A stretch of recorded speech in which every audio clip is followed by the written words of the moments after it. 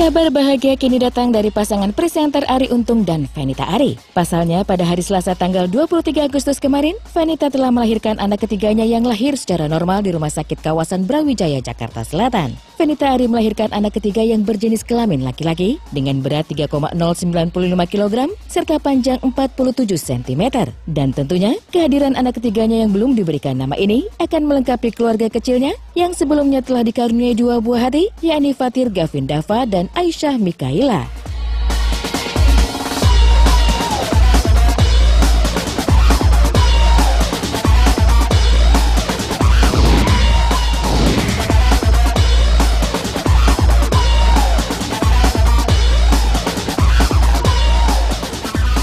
Setelah resmi menikah pada tanggal 8 Agustus yang lalu dan kini resmi menjadi suami istri, pasangan artis Samuel Zilkwin dan Franda mengaku ingin menunda untuk urusan mendapatkan momongan. Dalam masa menjalani pernikahan yang baru dibinanya ini, Franda merasa masih ingin merasakan momen berdua lebih lama dengan suami tercintanya. Seperti salah satunya, sibuk mengikuti jadwal syuting Samuel ke berbagai daerah. Wanita kelahiran Malang ini juga merasa bahwa ketika dirinya sudah mempunyai anak, tentunya prioritasnya akan berubah. Di mana dirinya harus mempunyai tanggung jawab besar yang harus dipikul ketika menjadi seorang ibu nantinya.